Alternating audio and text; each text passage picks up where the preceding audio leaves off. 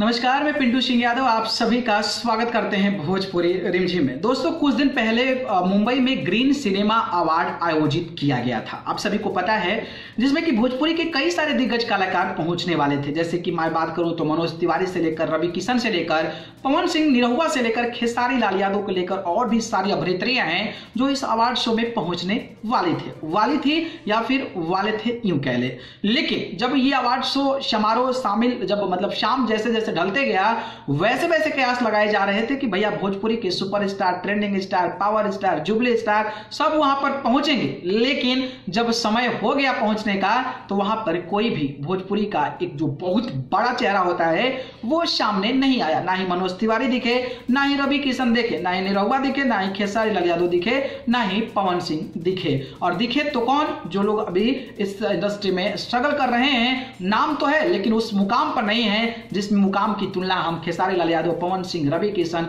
मनोज तिवारी और निरहुआ से कर दी। लेकिन फिर भी अवार्ड शो को समारोह को सम्मानित किया गया। कई सारे लोगों को कई सारे अवार्ड्स मिले।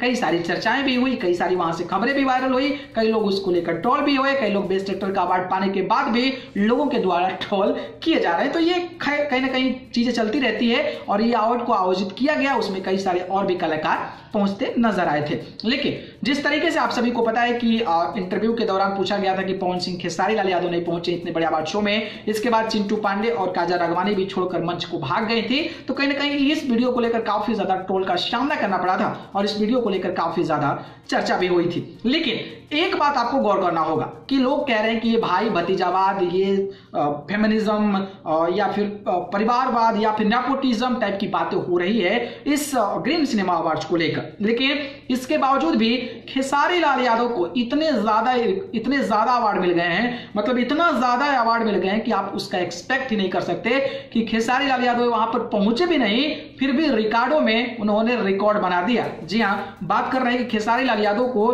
टोटल अगर कहा जाए तो उनकी फ़िल्म को लेकर, उनको पर्सनल लेकर पाँच बड़े बड़े अवार्ड्स ग्रीन सिनेमा अवार्ड्स में मिले हैं। पहले तो उनका मिला है best dynamic Bhojpuri film star best dynamic Bhojpuri film star ये पहला अवार्ड मिला है तो दूसरा मोस्ट पॉपुलर मोस्ट पॉपुलर यानी कि बेस्ट प्ले बैक सिंगर का अवार्ड भी खेसारी लाल यादव के नाम गया है। वहीं बात करें तो सबसे बेस्ट फ़िल्म मेहंदी लगा के रखना पार्ट थ्री को खेसारी लाल यादव की फ़िल्म को मिला है तीसरा अवार्ड चौथा अवार्ड की बात करें तो मेहंदी लगा के लिखना पार्ट थ्री में जो एक्ट्रेस हैं, यानी कि शहर अफसा, उनको बेस्ट डेब्यू एक्ट्रेस का अवार्ड उसमें मिला है। वहीं बात करें तो इसी फ़िल्म के बेस्ट जो डीओपी अवार्ड है, वो आर आर प्रिंस को मिला है। तो यानी कि पाँच अवार्ड जो है ना, वो खेसारी लाल यादव को मिला है, जबकि वो वहाँ पर गए भी नहीं हुए थे और उनके नाम गूंजे वहाँ पे। मतलब गए नहीं थे, फिर भी नाम गूंजे।